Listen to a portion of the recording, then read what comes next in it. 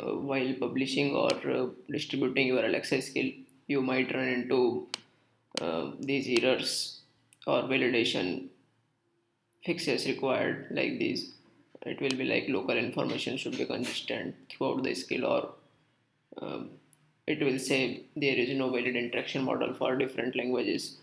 So this problem happens if we add multiple languages and uh, we don't uh, add interaction model for them so if you have added uh, different languages for your skills like this then you must provide the all these detailed description and uh, icons for them.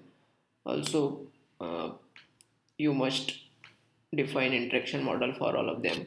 So one by one you can select these languages from here and uh, just go into the json editor and paste your uh, existing json so um, this copy and pasting will work if there is english language and you want to keep interaction model same.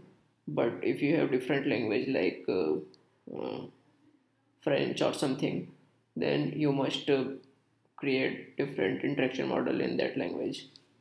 Okay after uh, uh, entering all the json you must save and build each and every language. Like for uk you must save and build it